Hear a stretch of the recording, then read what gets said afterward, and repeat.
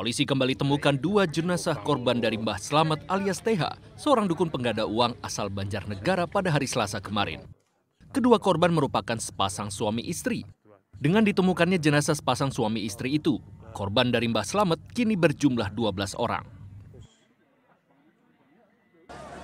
Sementara itu, sembari menunggu hasil identifikasi dan otopsi dari Rumah Sakit Margono Purwokerto, sembilan dari sepuluh korban kini telah dimakamkan di tempat pemakaman khusus yang disediakan oleh Desa Balun.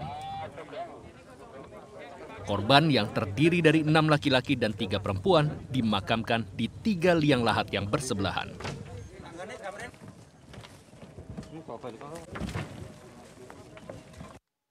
Sementara itu, satu jenazah lainnya yang telah teridentifikasi atas nama Parianto dimakamkan oleh keluarganya di tempat pemakaman umum Cibadak, Sukabumi, Jawa Barat. Parianto sebelumnya sempat pamit kepada anaknya untuk berangkat ke Banjarnegara pada 20 Maret lalu. Meski sempat dilarang oleh sang anak, Parianto tetap bersikeras untuk pergi menemui Mbah Slamet di Banjarnegara untuk menggandakan uang.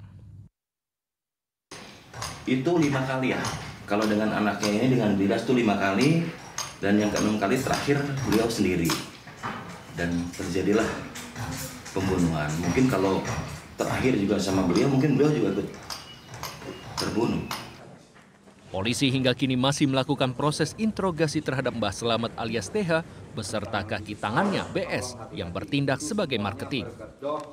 Besar kemungkinan jumlah korban masih akan terus bertambah. Masyarakat yang merasa kehilangan anggota keluarganya diharapkan bisa sesegera mungkin untuk berkomunikasi dengan Polres Banjarnegara.